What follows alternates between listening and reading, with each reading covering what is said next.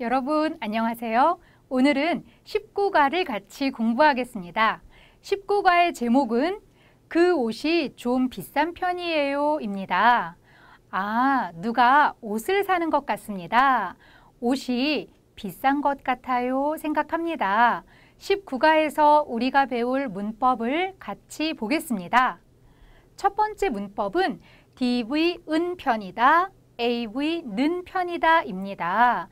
은는 뒤에 편이다가 있습니다. 이 문법은 어떤 의미일까요? 그리고 두 번째 문법은 숫자 뒤에 이나 또는 밖에를 씁니다. 숫자를 나타내는 여러 가지 표현을 우리가 이미 배웠습니다. 그 표현 뒤에 이나를 쓸 때 그리고 밖에를 쓸 때 의미가 조금 다릅니다. 19가에서 이 두 가지 문법에 대해서 같이 공부해 보겠습니다. 세실 씨, 어떤 색이 저한테 잘 어울려요? 하얀색도 예쁜데 빨간색이 더 잘 어울리는 것 같아요. 그런데 이 티셔츠가 5만 원이나 해요. 좀 비싼 편이네요. 손님, 그 티셔츠는 지금 30% 할인 중인데 한 장밖에 안 남았어요. 그래요? 어, 그러면 빨간색 M 사이즈 한 장 주세요. 죄송합니다, 손님. M 사이즈는 지금 다 팔리고 없어요. 그럼 빨간색 말고 하얀색 주세요. 네, 여러분. 두 사람의 대화를 잘 들었어요?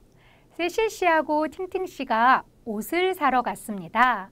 그리고 티셔츠가 얼마예요? 이야기한 후에 음, 좀 비싼 편이에요. 이렇게 말했습니다. 비싸다 뒤에 은편이다를 썼어요. 오늘 배우는 첫 번째 문법 은 편이다, 는 편이다 어떤 의미인지 다시 한번 문장을 보겠습니다. 가가 말합니다. 이 카페에는 공부하는 사람이 많네요. 이렇게 말했어요. 나는 그래서 좀 조용한 편이에요. 이렇게 말했습니다. 카페에 갔어요. 카페에 사람들이 많이 있습니다. 보통 사람들은 카페에서 커피를 마십니다. 그리고 이야기도 합니다. 책을 읽는 사람도 있습니다. 공부하는 사람이 카페에 많아요. 이야기하는 사람보다 공부하는 사람이 많습니다. 그래서 이 카페가 좀 조용한 편이에요. 이렇게 말했어요. 조용한 편이에요. 이 말은 시끄러운 카페도 있습니다. 조용한 카페도 있습니다. 어느 쪽에 가까워요? 시끄러운 카페보다 조용한 카페에 더 가깝습니다. 그래서 조용한 쪽에 좀 더 가까워요. 그런 특징이 더 많아요. 이런 의미로 조용한 편이에요를 썼습니다. 또 다른 문장을 같이 볼까요? 요즘은 카페에서 공부하는 사람이 많아요. 이렇게 말합니다. 나는 저도 시험 공부를 할 때 자주 카페에 가는 편이에요. 자, 여기도 가는 편이에요를 썼습니다. 시험 공부를 할 때 여러분은 어디에 가요? 시험 공부를 할 때 집에서 공부하는 학생도 있습니다. 그리고 도서관에 가는 학생도 있습니다. 친구 집에 가는 학생도 있습니다. 또 카페에 가는 학생도 있습니다. 이 사람은 시험 공부를 할 때 집에서 공부할 때도 있어요. 도서관에서 공부할 때도 있어요. 그런데 카페에 가는 것 자주 가는 편이에요. 이렇게 말하면 카페에 좀 더 많이 가는 특징이 있어요. 입니다. 오늘 배우는 은 편이다, 는 편이다는 여러 가지 있어요. 어느 쪽에 더 가까워요? 할 때 이쪽에 좀 더 가까워요. 항상 매일 하는 것은 아니지만 좀 더 많이 합니다. 그때 사용하는 문법이에요. 자, 이 문법을 사용할 때 단어를 볼까요? 먼저 DV에 쓰는 것을 보겠습니다. 크다, 조용하다 두 개의 단어가 있습니다. 모두 DV예요. 받침을 볼까요? 크다, 다 앞에 네, 크 받침이 없습니다. 조용하다, 다 앞에 하 받침이 없습니다. 받침이 없으면 니은 편이다 이렇게 말합니다. 그래서 크다는 큰 편이다. 조용하다, 조용한 편이다 이렇게 말해요. 커요, 작아요 중에 큰 특징이 좀 더 많아요. 조용하다, 시끄럽다 중에서 조용하다 쪽에 좀 더 가까워요. 그러면 은 편이다를 씁니다. 그런데 여러분, 크다 아니에요.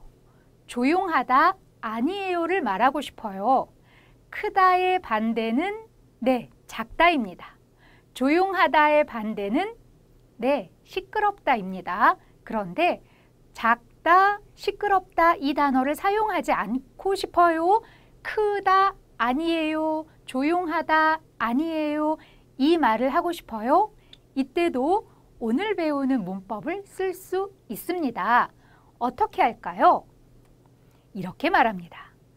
크다, 아니에요를 말하고 싶어요. 그러면 큰 편이다, 아니에요, 큰 편이 아니에요 이렇게 합니다. 그리고 아래에 있는 크지 않은 편이에요 이것도 같은 말입니다. 두 개의 표현이 모두 같아요. 여러분이 쓰고 싶은 것을 쓰면 됩니다. 자, 받침이 없는 DV를 봤습니다. 이제 받침이 있는 DV를 볼까요? 작다, 다 앞에 받침이 있습니다. 좋다, 다 앞에 받침이 있습니다. 받침이 있으면 은편이다를 씁니다. 네, 우리가 지금까지 많은 문법을 배울 때 받침이 있어요. 그러면 의가 있는 문법이 많았어요. 오늘도 같습니다. 받침이 있어요. 니은 편이다 아닙니다. 은 편이다. 의가 있어요. 자, 이 단어도 아니에요를 쓸 수 있어요. 작다 아니에요 말하고 싶어요. 좋다 아니에요 말하고 싶어요. 그러면 어떻게 할까요?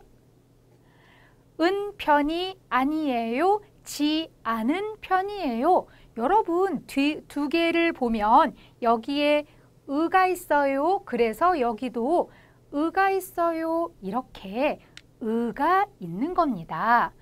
작아요. 크다 사용할 수 있지만 아니요. 저는 작다 아니에요. 이렇게 말하고 싶어요. 그러면 작은 편이 아니에요. 작지 않은 편이에요. 이렇게 합니다. 좋다. 좋은 편이 아니에요. 좋지 않은 편이에요. 자, 여러분 DV를 봤습니다. 오늘 이 문법은 AV도 쓸 수 있어요. AV를 같이 볼까요? AV는 는 편이다 입니다. 받침이 있을까요? 없을까요? 선생님이 여기에 다 앞에 받침이 없네요. 그리고 여기는 다 앞에 받침이 있네요. 두 개를 같이 썼어요. 왜 그랬을까요? 아, 네. 쓰는 방법이 같습니다. AV는 늘을 씁니다. 는 편이다. 우리가 지금까지 배운 문법에서 AV는 느 들어가는 문법이 많았습니다. 그래서 이 문법도 는 편이다 입니다. 가다와 먹다도 아니에요를 쓸 수 있습니다. 이제 여러분이 방법을 생각할 수 있어요. 가다 아니에요, 먹다 아니에요. 어떻게 할까요? 는 편이 아니다, 지 않는 편이다. 여기는 AV에 느가 있어요. 그래서 여기도 느가 있어요. 이것을 여러분이 생각하고 문장을 만들면 됩니다. 네, 여러분 이제 이 문법을 어떻게 사용할까요? 같이 연습해 봅시다. 첫 번째 연습, 답을 만들어 보세요 입니다. 가 질문합니다. 그 식당은 어때요? 나 대답합니다. 가격이 싸다. 그 식당은 모든 음식이 가격이 싸요. 그러면 오늘 문법을 쓰지 않습니다. 그때는 아, 그 식당은 가격이 싸요. 이렇게 말합니다. 그런데 비싼 음식도 조금 있어요. 하지만 싼 음식이 더 많아요. 가격이 싼 쪽과 비싼 쪽이 있으면 비싼 쪽 음, 별로 없어요. 싼 쪽이 좀 더 많아요. 그쪽에 좀 더 가까워요. 이런 의미입니다. 자, 가격이 싸요. 싼 음식이 많아요. 싸다. DV입니다. 그리고 받침이 없어요. 어떻게 만들까요? 네, 이렇게 만듭니다. 가격이 싼 편이에요. 받침이 없습니다. 그래서 의도 없습니다. 2번입니다. 같은 질문이에요. 그 식당은 어때요? 나가 대답해요. 음식의 종류가 많아요? 아니요. 많지 않은 쪽에 가깝습니다. 그래서 많다 X 아니에요를 썼어요. 그러면 우리 아니에요 이 표현도 쓸 수 있습니다. 많다 DV입니다. 그리고 받침이 있어요.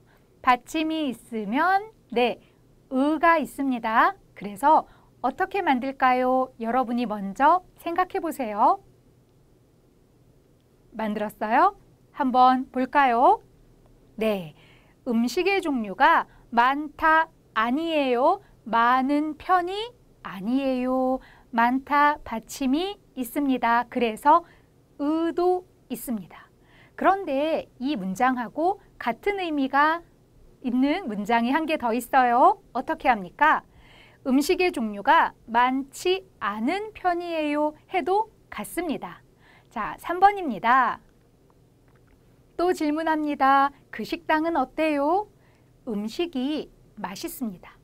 모든 음식이 다 맛있어요는 아닙니다. 하지만 맛 없는 음식보다 맛있는 음식이 조금 더 많아요. 그래서 그쪽에 가까워요 말하고 싶어요. 맛있다, 있다, 없다는 항상 뒤에 무엇을 써야 할까요? 여러분이 배웠습니다. 자, 이 단어로 어떻게 만들까요? 네, 음식이 맛있는 편이에요. 이렇게 합니다. 자, 여러분 잘하고 있습니다. 4번입니다. 주말에는 보통 뭘 해요? 뭘 해요? 이니까 AV 대답이 나옵니다. 운동을 좋아해서 자주 운동하다. 운동하다는 편이다. 어떻게 할까요? 네, 운동을 좋아해서 자주 운동하는 편이에요. AV는 는 있습니다. 자, 여러분 마지막 5번입니다. 주말에는 보통 뭘 해요? 친구를 만나서 놀아요. 항상 놀아요 아닙니다. 친구를 만나서 놀 때가 더 많아요. 그래서 편이 다릅니다. 친구를 만나서 놀다. 놀다 AV예요. 그런데 여러분 받침이 르, 리을입니다. 그래서 조금 달라져야 해요. 여러분이 아마 알 거예요. 자, 이 문장을 어떻게 만들까요? 네, 친구를 만나서 노는 편이에요.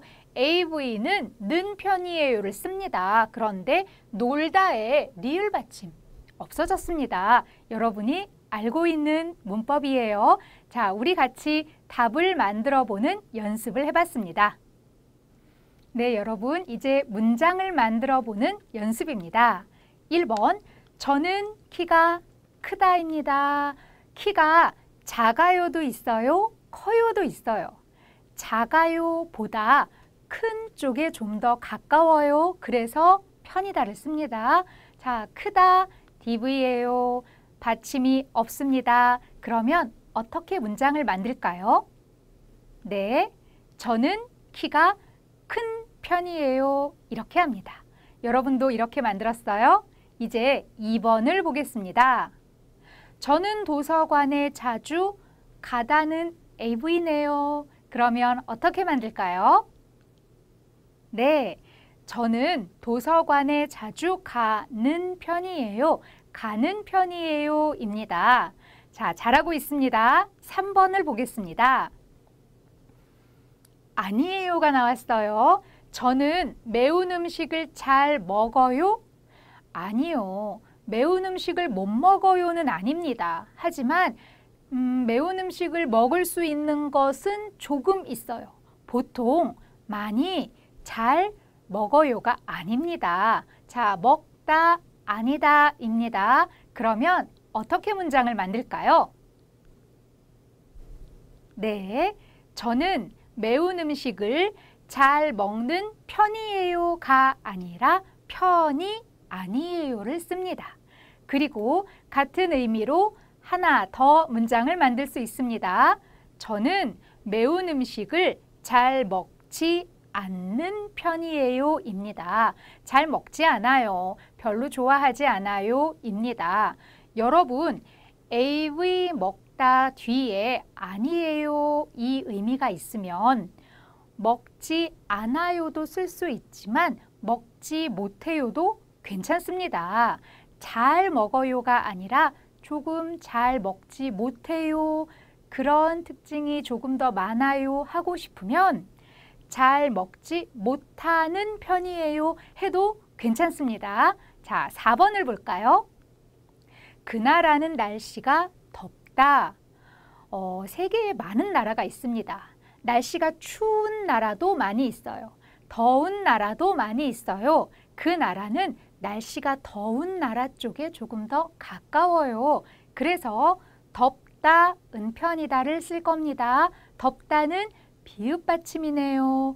여러분, 덥다는 여러분이 더워요 이렇게 만들지요. 그래서 오늘 은편이다도 조금 달라져야 됩니다. 자, 여러분이 한번 생각해 보세요. 어떻게 했어요? 선생님하고 볼까요? 그 나라는 날씨가 네, 더 우가 있네요. 음, 덥다는 더워요의 우가 있습니다. 더운 편이에요. 자, 여러분 잘하고 있어요. 이제 5번입니다. 우리 집은 학교에서 멀다 아니에요. 멀다 아니에요. 멀다에 리을 받침이 있어요. 그래서 아마 조금 다를 거예요. 여러분이 먼저 한번 생각해 보세요. 자, 문장을 만들었어요. 선생님하고 볼까요? 우리 집은 학교에서 먼 편이 아니에요. 여러분, 멀은 안 됩니다. 먼 편이 아니에요. 아니에요는 또 다른 문장도 만들 수 있습니다. 우리 집은 학교에서 멀지 않은 편이에요. DV에 아니에요 쓰고 싶으면 는 아닙니다. 은입니다. 멀다 받침이 있지만 리을 받침이에요. 그래서 조금 달라졌습니다. 자, 여러분 우리가 문장을 만들어 보는 연습을 해봤습니다. 네, 여러분 세 번째 연습입니다. 대화를 만들어 보세요. 1번 김치찌개를 좋아해요? 물어봤습니다. 대답은 네, 아, 네, 좋아해요입니다. 네, 저는 김치찌개를 좋아해서 자주 뒤에 어떤 단어를 쓸까요? 김치찌개를 좋아합니다. 그래서 김치찌개를 자주 네, 먹다를 써야 합니다. 먹다 뒤에 오늘 배운 문법을 써볼까요? 자주 먹는 편이에요. 여러분도 이렇게 만들었지요? 네, 2번입니다. 음악을 좋아해요? 물어봤습니다. 대답은 네, 어, 네, 좋아해요. 저는 음악을 자주, 음악 뒤에는 어떤 단어를 쓸까요? 네, 듣다입니다. 음악을 자주 듣는 편이에요. 음악을 안 들을 때보다 자주 듣고 많이 듣고 할 때가 조금 더 많아요. 그래서 자주 듣는 편이에요 했습니다. 3번입니다. 한국 음식이 많이 매워요? 물어봤습니다. 나는 아니요, 어, 아니요입니다. 한국 음식은 고향 음식에 비해서 여러분 N에 비해서 배웠습니다. 고향 음식에 비해서 아니에요는 두 개의 문장을 만들 수 있어요. 첫 번째, 매운 편이 아니에요.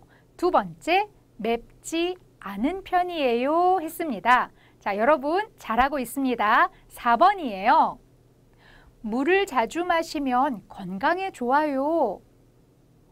그런데 저는 물을 자주 마셔요 하면 대화가 조금 이상합니다. 물을 자주 마시면 건강에 좋아요. 그런데 저는 아마 자주 마시지 않는 것 같아요. 자, 아니다입니다. 물을 마시다 뒤에 어떻게 할까요? 자주 마시는 편이 아니에요. 또 다른 말은 자주 마시지 않는 편이에요. 입니다. 자, 여러분 잘하고 있습니다. 마지막 5번입니다. 집이 학교에서 멀어요? 물어봅니다. 답은 네입니다. 네. 우리 집은 학교에서 좀 멀어요. 가까운 쪽보다 먼 쪽에 가깝습니다. 그런데 받침이 이제 여러분 알아요. 리을 받침입니다. 그러면 어떻게 할까요? 우리 집은 학교에서 좀 먼 편이에요. 입니다. 여러분 잘 만들었어요? 우리 같이 대화를 만들어 봤습니다. 네, 여러분 마지막 연습입니다. 단어를 연결하여 문장을 만들어 보세요. 입니다.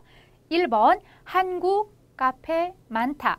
많다 뒤에 오늘 문법을 쓸 거예요. 한국은 어때요? 입니다. 한국은 많아요. 뭐가 많아요? 카페가 많아요. 자, 어떻게 할까요? 한국은 카페가 많은 편이에요. 입니다. 2번입니다. 한국은 교통비 비싸다 입니다. 비싸다 뒤에 오늘 배운 문법을 쓸 거예요. 비싸다, 교통비, 그러면 교통비를 아닙니다. 교통비가입니다. 그래서 이렇게 만듭니다. 한국은 교통비가 비싼 편이에요. 입니다. 어렵지 않습니다. 자, 3번입니다. 한국 사람은 자주 먹어요. 그런데 앞에 무엇을 자주 먹어요? 치킨과 맥주. 여러분도 알아요. 그러면 어떻게 만들까요? 한국 사람은 치킨과 맥주를 자주 먹는 편이에요. 입니다. 치킨과 맥주를 자주 먹는 사람들이 좀 더 많아요. 안 먹는 사람보다 자주 먹는 사람들 쪽에 좀 더 많이 가까워요. 그래서 자주 먹는 편이에요. 했습니다. 자, 4번을 볼까요? 새로 사다, 노트북 가볍다. 가볍다 뒤에 오늘 배운 문법을 쓸 거예요. 그런데 뭐가 가벼워요? 노트북이 가벼워요. 이 노트북은 어떤 노트북입니까? 새로 사다, 사다, AV, N 앞에 AV 있습니다. 그리고 아마 지금 사요 아닙니다. 그 전에 과거에 샀어요. 그러면 어떻게 만들까요? 여러분이 배운 문법을 다시 한번 생각해 보세요. 만들었어요? 선생님하고 볼까요? 새로 산입니다. 여러분 이렇게 만들었지요? 새로 산 노트북이 가벼운 편이에요. 오늘 가볍다에서 브, 비읍 받침은 아까 덥다, 더운 편이에요. 가볍다, 가벼운 편이에요. 같습니다. 자, 이제 마지막 문제입니다. 아니다예요. 그래서 문장이 두 개입니다. 한국 사람 어때요? 자주 입다 아니에요. 무엇을 한복을 입니다. 여러분 한국에서 한복을 입은 사람을 많이 봤습니까? 음, 별로 보지 못했습니다. 자, 그래서 이렇게 만듭니다. 한국 사람은 한복을 자주 입는 편이 아니에요. 그리고 자주 입지 않는 편이에요. 이렇게 합니다. 자, 여러분 DV 은 편이다. AV는 편이다. 이제 여러분이 문장을 잘 만들 수 있을 거예요.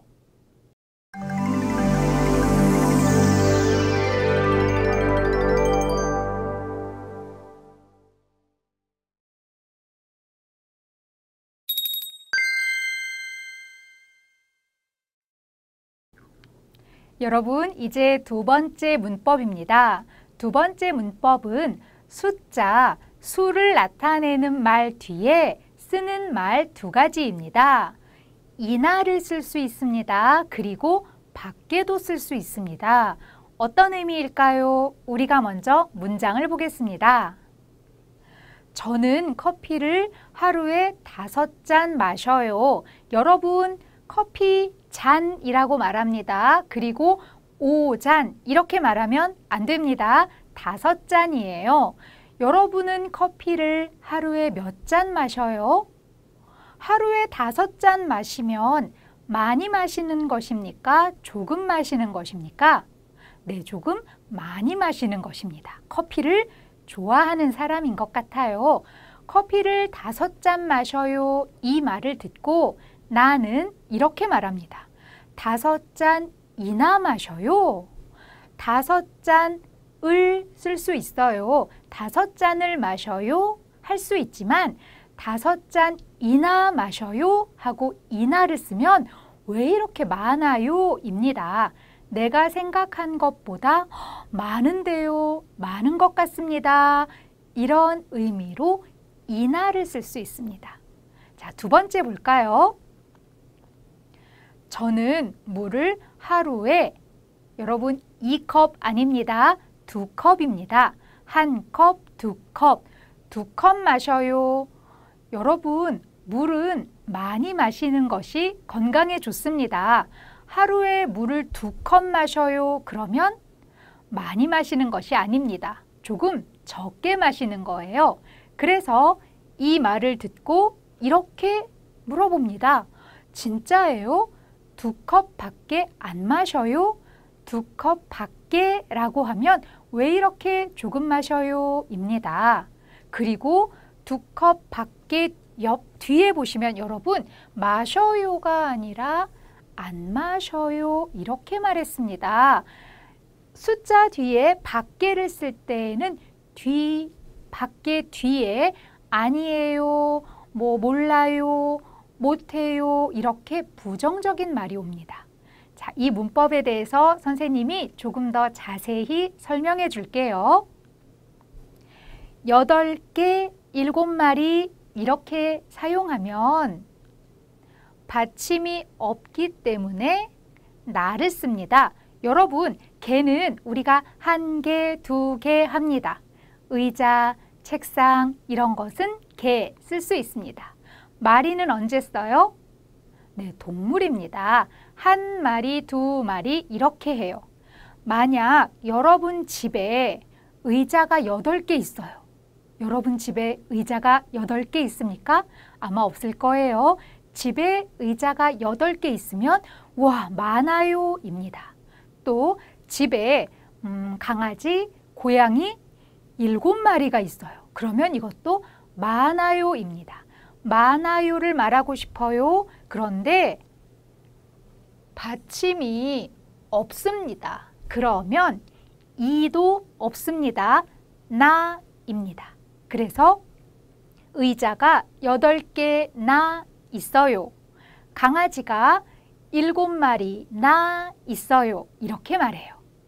자, 여러분 다섯 잔, 열 명 이번에는 받침이 있습니다.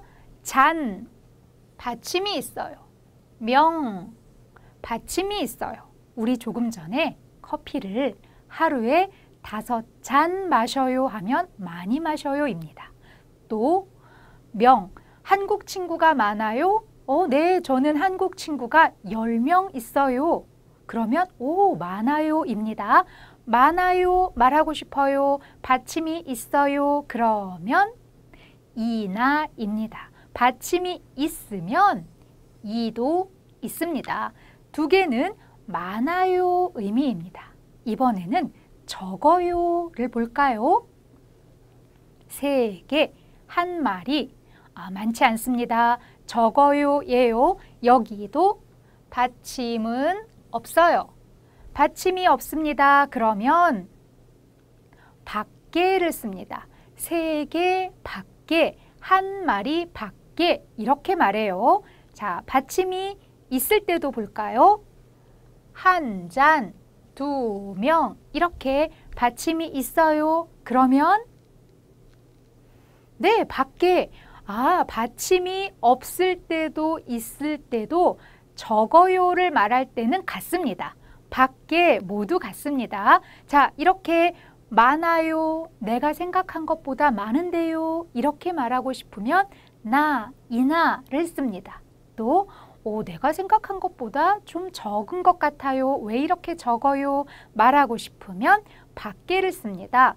선생님이 아까 문장에서 말했어요. 밖에 뒤에 오는 말이 뭐가 있다고 했습니까? 밖에는 음, 물을 하루에 두 잔 밖에 마셔요 안 됩니다. 밖에 안 마셔요입니다. 밖에 뒤에는 안 쓰거나 못 쓰거나 아니면 없어요, 몰라요 이런 말이 뒤에 와야 됩니다. 자, 진짜 문장을 만들 때 어떻게 할지 우리 연습하면서 한번 보겠습니다. 네, 여러분. 그러면 오늘 배운 문법을 문장으로 만들 때 어떻게 사용할까요? 선생님하고 같이 연습해 봅시다. 1번입니다. 답을 만들어 보세요. 입니다. 자, 질문합니다. 한국 친구가 많은 편이에요? 물어봤습니다. 네, 저는 많은 편이에요. 저는 한국 친구가 15명. 여러분, 한국 친구가 15명 있습니까? 15명이에요? 많습니다. 그러면 15명 뒤에 많아요를 쓸 거예요. 그런데 앞에 받침이 있네요. 받침이 있으면 이도 있습니다. 그래서 이렇게 말합니다. 네, 저는 한국 친구가 15명 이나 있어요. 받침이 있어요. 그러면 이도 있어요. 자, 2번입니다. 한국 친구가 많은 편이에요? 물어봤어요. 아니요입니다. 아니요. 저는 한국 친구가 한 명, 자, 한 명 있어요. 한 명만 있어요. 이 문법은 전에 여러분이 배웠습니다. 오늘 배우는 문법은 한 명 뒤에 밖에를 써야 합니다. 밖에는 한 명 밖에 있어요. 이렇게 쓰면 안 됩니다. 선생님하고 같이 볼까요? 저는 한국 친구가 한 명 밖에 아, 적어요. 그러면 밖에를 씁니다. 그런데 더 중요한 것은 밖에 뒤에가 아, 있어요를 쓰면 안 돼요. 없어요를 씁니다. 아니에요, 못해요, 안 해요, 몰라요, 없어요. 이렇게 부정적인 말이 밖에 뒤에 와야 됩니다. 우리가 좀 더 연습해 볼까요? 3번입니다. 요즘 운동을 많이 하는 편이에요? 물어봤어요. 네, 했습니다. 어제도 3시간, 3시간 운동을 했어요. 하루에 3시간 운동하는 것은 적게 하는 것이 아닙니다. 조금 많이 하는 편입니다. 그래서 3시간 뒤에 많아요 이런 말을 쓸 때 하는 이날을 쓸 거예요. 3시간 받침이 있어요. 그래서 이도 있습니다. 이렇게 말해요. 네, 어제도 3시간 이나 음, 많이 했어요 입니다. 4번을 볼까요? 요즘 운동을 많이 하는 편이에요 했어요. 그런데 아니요. 지난주에 여러분 우리 3번에서는 하루에 3시간 말했는데 4번은 지난주 일주일에 30분이에요. 아주 조금 했습니다. 그래서 너무너무 적어요. 밖에를 써야 됩니다. 밖에 뒤에 무엇을 쓰는지가 더 중요해요. 지난주에 30분 밖에 못했어요입니다. 밖에는 30분 적어요. 그래서 밖에를 썼어요. 그리고 뒤에 30분 밖에 했어요. 안 됩니다. 못했어요. 더 하고 싶었지만 너무 바빠서 또는 피곤해서 못했어요. 30분 밖에 못했어요입니다. 여러분 못해요 쓸 수 있지만 여기 지난주에 이렇게 말했어요. 그래서 못했어요를 사용했어요. 자, 5번도 볼까요? 요즘 운동을 많이 하는 편이에요? 나 요즘은 시간이 없어서 한 달에 한 번. 여러분, 운동을 한 달에 한 번 합니다. 많이 하는 것이 아니에요. 너무너무 조금 하는 거예요. 그래서 한 번, 적어요입니다. 한 번 밖에를 써야겠죠. 한 번 밖에, 그리고 뒤에 어떤 말을 쓸까요? 만들었어요? 선생님하고 볼까요? 요즘은 시간이 없어서 한 달에 한 번밖에 못 해요. 밖에 쓰고 뒤에 해요 안 됩니다. 못 해요입니다. 하고 싶지만 못 해요입니다. 자, 여러분 4번에서는 어, 지난주에 30분 밖에 못 했어요를 했어요. 지난주는 과거입니다. 그래서 못 했어요. 하지만 5번은 요즘은 이라고 했어요. 요즘, 보통, 이때는 과거를 쓰지 않아요. 못했어요 아니고 못해요입니다. 자, 여러분 이나와 밖에를 사용해서 우리가 답을 만들어 봤는데요. 또 다른 연습도 같이 해볼까요? 네, 여러분 이번에는 문장을 만들어 볼까요? 1번 제 동생은 책을 한 달에 10권 읽어요. 여러분 이 문장도 좋습니다. 제 동생은 책을 한 달에 몇 권 읽어요? 10권 읽어요. 이 문장도 만든 문장이에요. 그런데 10권 정말 많이 읽어요. 아주 많이 읽어요. 이런 나의 생각을 말하고 싶어요. 그러면 10권 뒤에 오늘 배운 문법을 쓰면 됩니다. 10권은 적어요가 아닙니다. 많아요입니다. 정말 많이 읽어요. 많아요. 권 받침이 있습니다. 그러면 어떻게 쓸까요? 10권 이나 읽어요 입니다. 자, 여러분 2번도 한번 만들어 보세요. 저는 어제 2시간 못 잤어요. 이 문장은 맞아요? 아니요. 우리가 이나를 사용할 때에는 뒤에 단어가 달라지지 않아요. 그래서 이나, 나 사용하지 않아도 문장이 좋은 문장입니다. 하지만 여러분 어제 2시간, 음, 2시간 잤어요는 정말 조금 잤어요. 저는 어제 2시간 잤어요. 2시간만 잤어요. 이렇게 말하는 문법도 있지만 오늘은 밖에를 쓸 거예요. 밖에를 쓸 때는 뒤에 잤어요가 못 잤어요로 바뀝니다. 이것이 중요해요. 자, 저는 어제 2시간 밖에 못 잤어요. 너무너무 조금 잤어요. 입니다. 아마 여러분은 2시간 밖에 이것은 모두 잘할 수 있어요. 그런데 이것을 여러분 잘 생각해야 됩니다. 저는 어제 2시간 밖에 잤어요. 그러면 그 문장은 틀려요. 맞는 문장이 아닙니다. 2시간 밖에 밖에를 쓰면 뒤에 잤어요를 안 잤어요, 못 잤어요 이렇게 바꿔야 됩니다. 여러분 여기에 못 정말 중요합니다. 더 자고 싶었지만 2시간 밖에 못 잤어요 입니다. 자 그러면 3번도 만들어 보세요. 제 친구는 삼겹살을 4인분 먹을 수 있어요. 삼겹살 여러분 아마 삼겹살을 알아요. 그런데 혼자 4인분 보통 삼겹살 4인분은 몇 명이 먹는 거예요? 여기에 4인 있습니다. 4명이 먹어야 해요. 그런데 제 친구는 혼자 4인분 먹을 수 있어요. 많이 먹을 수 있어요. 많아요, 나, 이나를 쓸 때에는 뒤에 달라지지 않아요. 그냥 나, 이나를 선택해서 쓰면 됩니다. 4인분 받침이 있어요. 그래서 어떻게 할까요? 네, 맞습니다. 이나입니다. 자, 여러분 어때요? 이나 뒤에는 달라지지 않아요. 그래서 쉽지만 밖에는 조금 더 생각해야 됩니다. 자, 4번 보겠습니다. 교실에 학생이 몇 명 있어요? 한 명 있어요. 한 명 있어요. 한 명만 있어요. 그런데 뒤에 한 명 밖에를 쓰면 밖 밖에를 쓰면 뒤에 어때요? 있어요 쓰면 안 돼요. 없어요 단어가 달라집니다. 한 명 교실의 학생이 한 명 너무너무 적어요.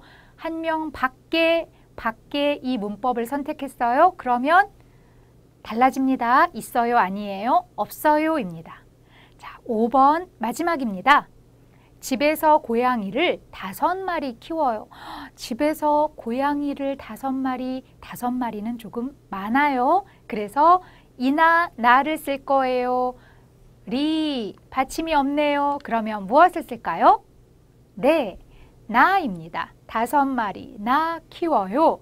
자, 여러분 우리가 문장을 만들어 봤어요. 이나 나 두 개의 문법을 사용할 때에는 앞에 받침이 있어요, 없어요? 이것만 잘 보면 됩니다. 하지만 밖에를 사용할 때에는 뒤에 단어가 달라집니다. 이것을 잘 생각하면서 우리 다음 문제도 한번 연습해 보겠습니다. 어때요, 여러분? 대화를 만들어 보는 연습을 같이 시작할까요? 1번입니다. 흐엉 씨가 명동에 자주 가는 편이에요? 물어봤습니다. 대답은 네입니다. 음, 자주 갑니다. 일주일에 세 번. 많이 가네요. 일주일에 세 번. 그러면 뒤에 무엇을 쓸까요? 네, 많아요. 이 문법은 쉽습니다. 세 번 이나 가요입니다. 자, 2번을 볼까요? 발표 준비를 많이 했어요? 물어봤어요. 아니요입니다. 한 시간. 발표 준비를 한 시간 했어요. 한 시간만 했어요. 입니다. 너무 조금 했어요. 발표 준비는 우리가 보통 더 많이 합니다. 그런데 이 친구는 한 시간만 했어요. 그러면 적어요. 밖에를 쓸 겁니다. 했어요를 어떻게 바꿔야 할까요? 여러분 이제 압니다. 한 시간 밖에 못했어요. 밖에를 쓰면 했어요 안 됩니다. 못했어요 입니다. 달라져요. 자, 3번 볼까요? 식당에 손님이 많아요? 물어봅니다. 아니요 입니다. 그러면 많지 않아요. 손님이 너무 적어요. 두 명, 네, 밖에입니다. 두 명 밖에. 그리고 있어요 쓸까요? 안 됩니다. 있어요가 아니라 네, 두 명 밖에 없어요. 밖에를 쓰면 뒤에 단어가 달라져요. 부정적인 단어를 씁니다. 이제 4번입니다. 점심에 바나나 한 개를 먹었어요. 여러분 점심에 바나나 한 개를 먹어요. 그러면 많이 먹은 거예요? 아니요. 조금 먹은 겁니다. 그래서 바나나 한 개를 먹었어요? 이렇게 물어볼 수 있지만 바나나 한 개 밖에를 쓸 거예요. 그러면 바나나 한 개 밖에 먹었어요가 아니에요. 달라집니다. 어떻게 할까요? 바나나 한 개 밖에 하고 뒤에 안 먹었어요. 이렇게 물어봅니다. 못 먹었어요. 이렇게 해도 괜찮아요. 안 먹어요. 못 먹어요. 이렇게 바꿔야 됩니다. 자, 여러분 벌써 5번입니다. 저는 운동화가 8켤레 있어요. 여러분 운동화는 오른쪽, 왼쪽 두 개를 켤레 이렇게 말해요. 배웠습니다. 여덟 켤레 있어요. 많아요. 운동화가 여덟 켤레 나 있어요. 자, 나 뒤는 달라지지 않아요. 그래서 쉽습니다. 우리 같이 대화를 만들어 봤습니다. 자, 여러분 이제 선생님하고 마지막 연습을 하겠습니다. 단어를 연결하여 문장을 만들어 보세요. 단어가 세개 있습니다. 티셔츠 얼마예요? 8만 원 하다. 8만 원이에요. 이 말도 있어요. 그런데 8만 원 그리고 오늘 배운 문법을 쓴 다음 하다를 쓸 수 있어요. 여러분 티셔츠가 8만 원이에요. 그러면 비싸요? 싸요? 선생님 생각에는 조금 비싸요. 비싼 편이에요. 그래서 밖에를 쓰지 않아요. 이나를 씁니다. 어떻게 할까요? 티셔츠가 8만 원 이나 해요. 이렇게 말해요. 여러분도 이렇게 만들었지요? 자, 이제 2번 보겠습니다. 영화표 3장 안 남았다. 선생님이 남았다 안 썼어요? 안 남았다 썼어요. 영화표가 세장 남았어요 할 수 있지만 오늘 배운 문법은 밖에예요. 영화표가 세 장 남았어요. 적습니다.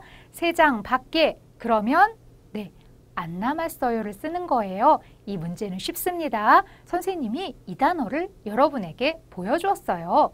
자, 영화표가 세 장 밖에 안 남았어요.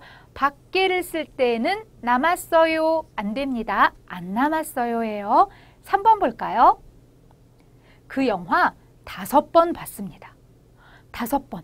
한 영화를 다섯 번 봐요. 여러분 이런 영화 있어요?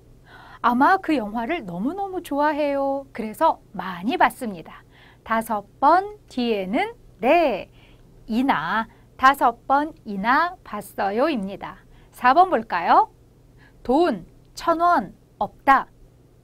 돈이, 저한테 돈이 천 원 있어요. 하지만 우리는 밖에, 적어요. 밖에를 쓸 거예요. 그래서 선생님이 없다 이렇게 바꿨어요.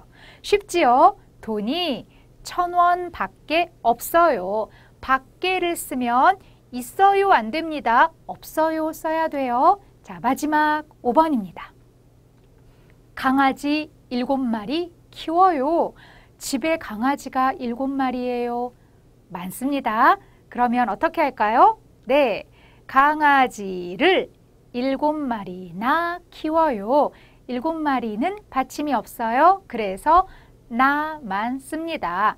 여러분 수를 나타내는 말 뒤에 많아요 하면 이나 왜 이렇게 적어요 하면 밖에 두 개의 문법을 배웠어요. 문장을 만들 때 뒤에 달라지는 단어가 있어요. 이것을 잘 생각해 주세요.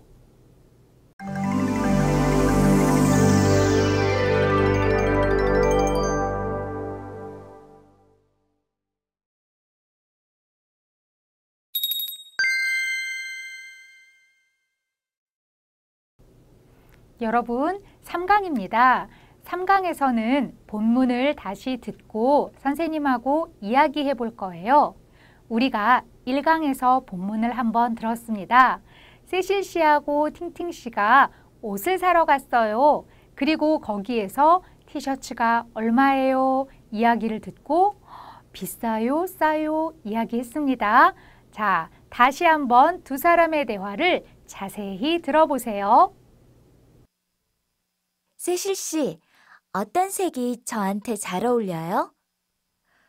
하얀색도 예쁜데 빨간색이 더 잘 어울리는 것 같아요. 그런데 이 티셔츠가 5만 원이나 해요. 좀 비싼 편이네요. 손님, 그 티셔츠는 지금 30% 할인 중인데 한 장밖에 안 남았어요. 그래요? 어, 그러면 빨간색 M 사이즈 한 장 주세요. 죄송합니다, 손님. M 사이즈는 지금 다 팔리고 없어요. 그럼 빨간색 말고 하얀색 주세요. 네, 여러분 잘 들었어요? 이제 선생님하고 다시 한번 들을 거예요. 팅팅 씨하고 세실 씨가 무슨 이야기를 했어요? 다시 한번 듣고 선생님하고 큰 소리로 읽어봅시다. 팅팅 씨가 말할 거예요. 여러분 잘 들어보세요. 세실 씨, 어떤 색이 저한테 잘 어울려요? 선생님하고 같이 큰 소리로 읽어요. 세실 씨, 어떤 색이 저한테 잘 어울려요? 세실 씨 이야기를 들으세요.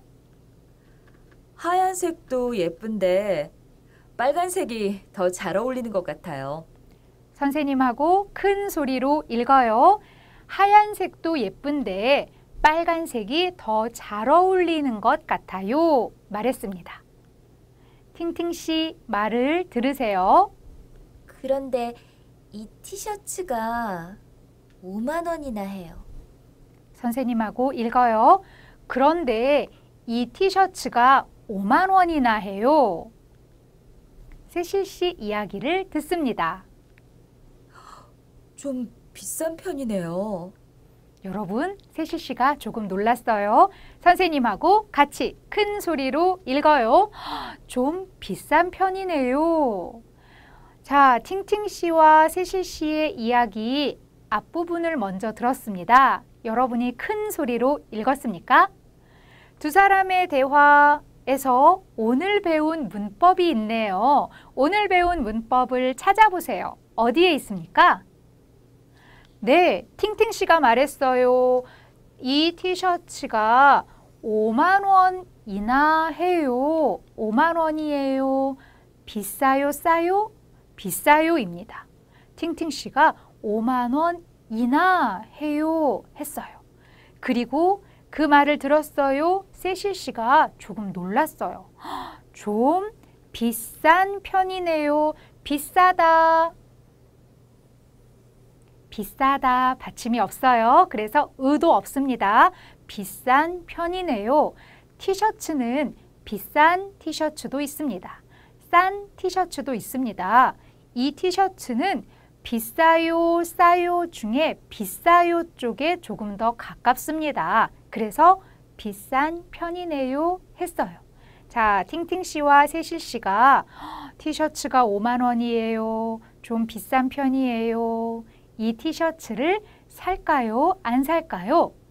뒤에 대화를 계속 듣겠습니다. 먼저 직원이 뭐라고 말해요? 여러분 잘 들어보세요. 손님, 그 티셔츠는 지금 30% 할인 중인데 한 장밖에 안 남았어요. 자, 선생님하고 큰 소리로 읽어요. 손님, 그 티셔츠는 지금 30% 할인 중인데 한 장밖에 안 남았어요. 조금 깁니다. 이제 팅팅 씨 이야기를 들어보세요. 그래요? 어, 그러면 빨간색 M 사이즈 한 장 주세요. 선생님하고 큰 소리로 읽어요. 그래요? 그러면 빨간색 M 사이즈 한 장 주세요. 직원의 이야기를 듣습니다. 죄송합니다, 손님. M 사이즈는 지금 다 팔리고 없어요. 자, 선생님하고 이번에도 큰 소리로 읽을 거예요. 죄송합니다, 손님. M 사이즈는 지금 다 팔리고 없어요. 팅팅 씨 이야기를 들으세요. 그럼 빨간색 말고 하얀색 주세요. 선생님하고 읽을 거예요. 그럼, 그러면 빨간색 말고 하얀색 주세요. 그럼, 그러면 같아요. 자, 여러분, 직원과 팅팅 씨가 이야기를 했습니다. 이 대화에도 오늘 우리가 배운 문법이 있어요. 누가 말했습니까? 네, 직원이 말했어요. 티셔츠가 자, 여러분, 티셔츠가 지금 다 팔렸습니다. 그리고 한 장 남았습니다. 한 장 남았어요. 하지만 밖에를 썼습니다. 그러면 한 장 밖에 네, 안 남았어요. 이렇게 바꿔야 됩니다. 손님, 그 티셔츠는 지금 30% 할인이에요. 우리 세일이에요. 할인이에요. 같은 말입니다. 싸게 팔아요. 지금 30% 할인 중인데 다 팔렸어요. 한 장밖에 안 남았어요. 그래서 팅팅 씨가 빨간색 사고 싶었지만 빨간색은 없습니다. 그래서 하얀색을 샀습니다. 자, 여러분 팅팅 씨와 세실 씨가 옷을 사러 갔습니다. 그곳에서 두 사람이 대화하고 직원하고 같이 대화도 했습니다. 여러분이 본문의 내용을 모두 잘 알았을 거예요. 네, 여러분. 우리는 본문의 대화를 잘 듣고 큰 소리로 읽었습니다. 이제 오늘 배운 문법 두 개를 모두 사용해서 대화를 만드는 연습을 할 거예요. 1번 친구하고 티셔츠를 사러 갔어요. 팅팅 씨하고 세실 씨도 티셔츠를 사러 갔어요. 티셔츠를 사러 갔어요. 그리고 티셔츠를 봤어요. 그러면 친구한테 뭐라고 말해요? 이 티셔츠가 어때요? 물어봅니다. 자, 여러분 질문은 이 티셔츠가 어때요? 입니다. 이 질문을 듣고 대답할 거예요. 어떤 대답을 할까요? 여기에 단어가 있습니다. 만 원이 있어요. 7만 원이 있어요. 그리고 비싸다와 싸다도 있어요. 그러면 오늘 배운 문법 이나 또는 밖에를 사용할 거예요. 그리고 은편이다도 사용할 거예요. 여러분이 문장을 만들 수 있습니다. 자, 먼저 음, 앞에 있는 만원 이 단어를 선택했어요. 티셔츠가 만 원이에요. 그러면 여러분 생각에 이 티셔츠는 비쌉니까? 쌉니까? 쌉니다. 비싸지 않아요. 만 원, 그리고 싸다. 이 두 개의 단어를 사용해서 이나 밖에 중에 하나를 사용합니다. 그리고 은 편이에요, 는 편이에요도 사용합니다. 어떻게 대답할까요? 여러분 한번 생각해 보세요. 선생님하고 같이 볼까요? 이 티셔츠가 어때요? 만 원밖에 안 해요. 싼 편이에요. 자, 만 원 뒤에 우리가 밖에 썼어요. 그러면 해요 안 됩니다. 안 해요. 만 원밖에 안 해요. 싸다입니다. 그래서 싼 편이에요. 이렇게 말했어요. 자, 똑같은 질문을 합니다. 이 티셔츠가 어때요? 이번에는 여러분 음, 7만 원. 그러면 아마 비싸다. 조금 전에 만든 대화하고 아주 비슷해요. 이번에는 여러분이 먼저 혼자 만들어 보세요. 만들었어요? 선생님하고 같이 볼까요? 이 티셔츠가 어때요? 7만 원 이나 해요. 어, 많아요. 7만 원 이나 해요. 그리고 비싼 편이에요. 이렇게 했습니다. 여러분도 이렇게 만들었지요? 자, 다른 대화를 만들어 볼까요? 친구의 룸메이트에 대해서 이야기해요. 그러면 어떻게 질문할까요? 네, 룸메이트가 어때요? 궁금해요? 이야기해 주세요. 질문할 거예요. 룸메이트가 어때요? 이 질문을 듣고 여기에 있는 것들을 하나씩 사용해서 대답할 거예요. 자, 여러분 하루에 10시간 음악을 뒤에 어떤 단어를 선택할까요? 사용할까요? 여러분이 생각하세요. 그리고 한 달에 두 번 뒤에 술, 술 뒤에 어떤 단어를 써요? 세 번째, 일주일에 네 번 치킨, 치킨 뒤에는 어떤 단어를 쓸까요? 자, 여기에 세 개가 있어요. 그리고 마지막 좋아하다 이 단어는 은 편이에요를 좋아하다 또는 좋아하다 아니에요 이렇게 두 가지 방법으로 쓸 수 있습니다. 자 여러분 앞에 있는 것부터 우리 사용해 볼까요? 하루에 10시간 음악 하루에 10시간 음악 음악 뒤에는 네 들어요를 씁니다. 그리고 10시간은 많아요 적어요 여러분 생각에 네 많습니다. 하루에 10시간 이나 음악을 들어요. 그러면 음악을 좋아하다예요? 좋아하다 아니다예요? 좋아하다입니다. 좋아하는 편이에요. 자, 여러분 이제 방법을 알았어요. 다른 두 개는 더 쉽게 만들 수 있을 거예요. 룸메이트가 어때요? 이번에는 한 달에 두 번 술입니다. 술 뒤에 단어는 네, 마시다예요. 자, 한 달에 두 번 술을 마셔요. 그러면 많이 마시는 것입니까? 조금 마시는 것입니까? 아마 많이 마시는 것은 아닙니다. 그러면 한 달에 두 번 밖에 한 달에 두 번 밖에를 썼어요. 두 번 밖에 그러면 마시다를 바꿔야 됩니다. 자, 이렇게 말합니다. 한 달에 두 번 밖에 적게 하면 술을 마셔요가 아니에요. 술을 안 마셔요 이렇게 씁니다.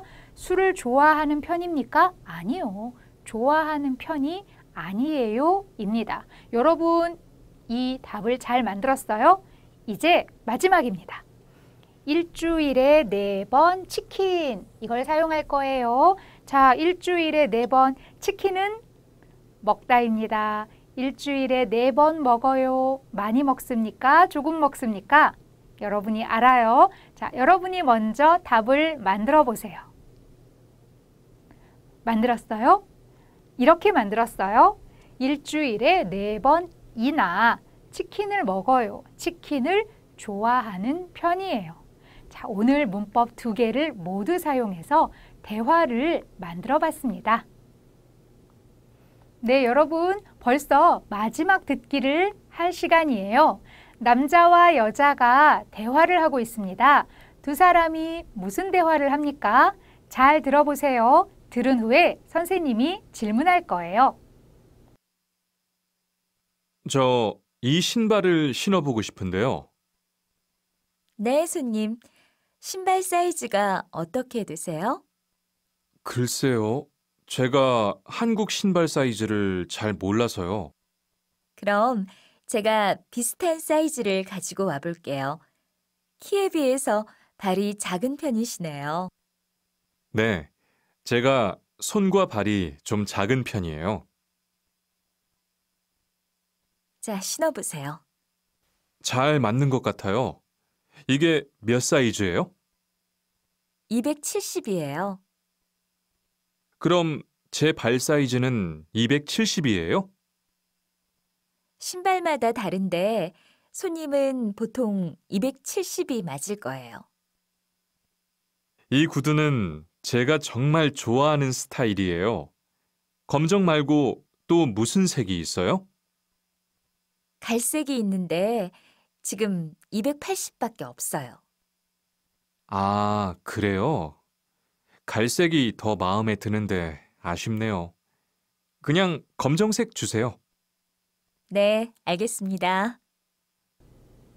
여러분 잘 들었어요? 남자하고 여자가 지금 어디에서 이야기하는 것 같아요? 손님하고 직원이 있습니다.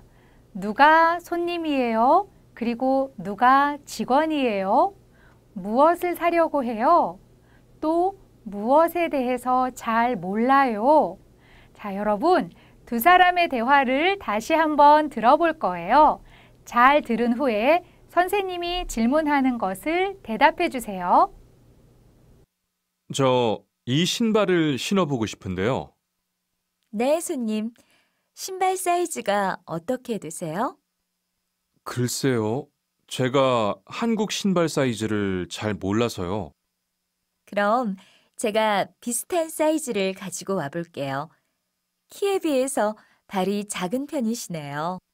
네. 제가 손과 발이 좀 작은 편이에요. 자, 신어보세요. 잘 맞는 것 같아요. 이게 몇 사이즈예요? 270이에요. 그럼 제 발 사이즈는 270이에요? 신발마다 다른데 손님은 보통 270이 맞을 거예요. 이 구두는 제가 정말 좋아하는 스타일이에요. 검정 말고 또 무슨 색이 있어요? 갈색이 있는데 지금 280밖에 없어요. 아, 그래요? 갈색이 더 마음에 드는데 아쉽네요. 그냥 검정색 주세요. 네, 알겠습니다. 네, 여러분 잘 들었어요? 남자하고 여자가 어디에서 이야기를 하고 있습니까? 선생님이 질문할 거예요. 여러분이 답해 보세요. 먼저 1번. 남자는 무엇을 사러 갔어요? 남자가 손님입니다. 남자는 무엇을 사러 갔어요? 네, 맞습니다. 남자는 신발을 사러 갔어요. 신발을 사러 갔습니다. 그런데 2번 남자는 무엇을 잘 몰라요. 지금 남자가 저는 이것을 잘 몰라요 말했습니다. 무엇을 잘 몰라요? 네. 한국 신발 사이즈를 잘 몰라요. 남자는 한국 사람이 아니에요. 한국에서 신발을 산 적이 없어요. 그래서 한국의 신발 사이즈를 잘 몰라요 말했습니다. 직원에게 도와주세요 했습니다. 자, 3번입니다. 남자는 구두를 신어봤어요. 그리고 이 구두에 대해서 어떻게 생각해요? 남자가 말했습니다. 여러분, 잘 생각해 보세요. 남자가 뭐라고 말했어요? 네, 이렇게 말했습니다. 남자가 정말 좋아하는 스타일이에요. 마음에 들어요. 이렇게 말했어요. 자, 4번입니다. 남자가 사고 싶은 색이 없었어요. 그래서 남자는 신발을 샀어요? 안 샀어요? 제가 정말 좋아하는 스타일이에요. 그런데 제가 좋아하는 색은 없어요. 다음에 다시 올게요. 안녕히 계세요. 했습니까? 아니면 다른 색을 샀습니까? 자, 남자는 신발을 샀어요? 네, 샀어요. 샀습니다. 조금 아쉽습니다. 하지만 샀어요. 마지막 5번입니다. 남자에 대한 내용과 같은 것을 고르세요. 1번 키에 비해서 발이 큰 편이에요. 2번 한국 신발 사이즈가 270이에요. 3번 한국 신발 사이즈를 잘 알고 있었어요. 4번 갈색보다 검정색 신발이 더 마음에 들어요. 자, 여러분 여기에서 세 개는 들은 내용과 달라요. 한 개만 같습니다. 무엇이 같습니까? 여러분 답을 찾았어요? 네, 2번입니다. 남자는 처음에 한국 신발 사이즈를 몰랐어요. 그런데 구두를 신어본 후에 직원이 말해줬어요. 손님은 한국 신발 사이즈가 270이에요 했습니다. 그러면 1번, 3번, 4번은 뭐가 달라요? 잘못된 부분이 무엇일까요? 우리 한번 같이 보겠습니다. 1번. 남자는 키에 비해서 발이 큰 편이에요. 이렇게 말했습니까? 아니요. 발이 작은 편이에요. 했습니다. 3번. 남자는 한국 신발 사이즈를 잘 알고 있었어요? 아, 이거 쉽습니다. 여러분이 알아요? 아니요, 모르고 있었어요. 4번입니다. 갈색보다 검정색 신발이 더 마음에 들어요. 이것은 조금 어렵습니까? 자, 이렇게 말했습니다. 남자는 검정색보다 갈색 신발이 더 마음에 들어요. 하지만 갈색 신발이 없었어요. 그래서 아쉽네요. 이렇게 말했어요. 그리고 검정색 신발을 샀습니다. 자, 여러분 두 사람의 대화를 듣고 선생님하고 같이 내용을 생각해 봤습니다. 네, 여러분 우리가 오늘 배운 문법을 다시 한번 생각해 볼까요? 첫 번째, DV 은 편이다. AV 는 편이다. 어느 쪽에 더 가까워요? 보통 어느 쪽이 더 많아요? 이런 의미로 사용합니다. DV는 받침이 있어요, 없어요. 그때 의도 있어요, 없어요 다릅니다. AV는 모두 는을 씁니다. 자, 편이다 배웠습니다. 두 번째는 숫자를 나타내는 말 뒤에 인하를 쓸 때가 있습니다. 그리고 밖에를 쓸 때가 있습니다. 이 문법은 제가 어떤 이야기를 들었어요. 그리고 많아요. 제가 많아요 생각합니다. 그러면 인하를 씁니다. 이때는 앞에 단어의 받침이 있어요, 없어요 생각해요. 그래서 이도 있어요, 없어요 생각합니다. 마지막 밖에는 생각보다 너무 적어요, 조금이에요. 이때 밖에를 씁니다. 여러분 밖에는 뭐가 중요합니까? 밖에 뒤에 오는 단어는 달라져요. 그래서 밖에 뒤에는 안 해요, 못 해요, 몰라요, 없어요 이렇게 부정적인 단어로 바꿔야 됩니다. 자, 이렇게 오늘 배운 문법을 정리해 봤습니다.